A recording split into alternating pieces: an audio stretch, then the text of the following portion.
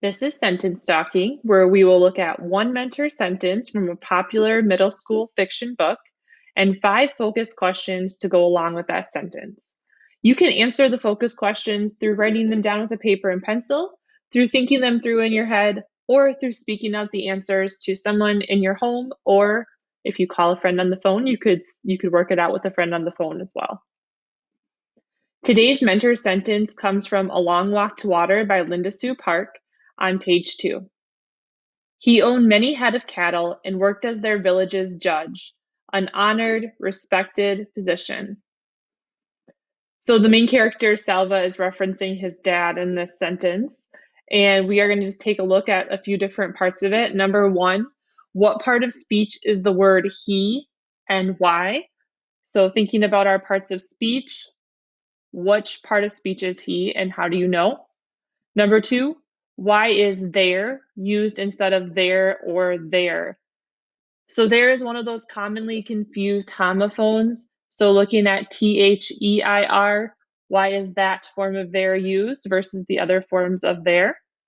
Number three, why is there an apostrophe in villages? So we know that there are a couple of reasons that writers use apostrophes. Writers use apostrophes to show possession. Writers also use apostrophes in contractions. So in this case, why is the apostrophe there? Number four, what is the pronunciation or what is the punctuation after judge called and what is its purpose? So there is a punctuation mark after judge. What is it called and what is its purpose? Number five, why is there a comma after honored? So there are several reasons that writers use commas. What is the reason that Linda Sue Park used a comma in this sentence between honored and respected? This is the time where you're going to pause the video and either write down, think about, or talk through the answers to these questions, the focus questions for today's mentor sentence. Join me when you're ready to go over the answers.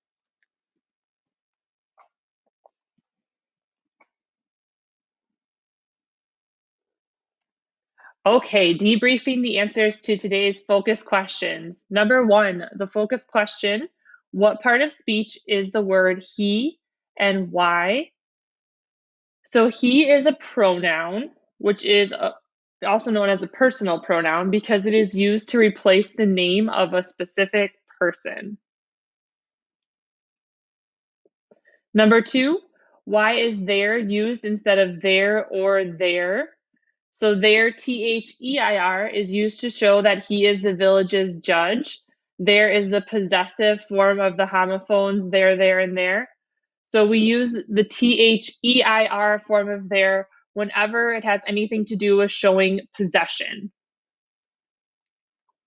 Number three, why is there an apostrophe in villages?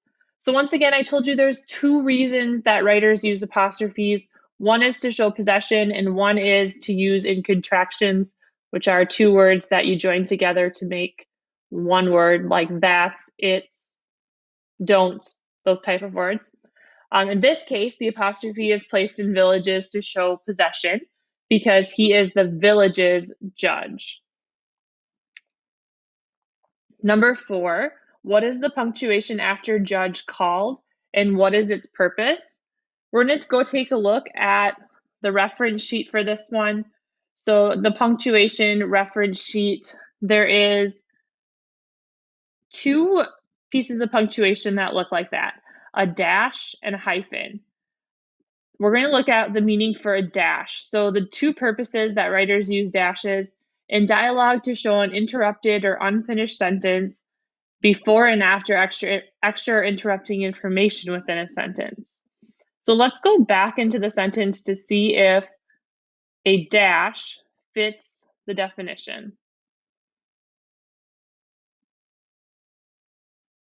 So it is in fact a dash. The dash is used to insert extra information at the end of the sentence. So in this case, the author gave more specific information about what it means to be the village's judge. It is an honored, respected position.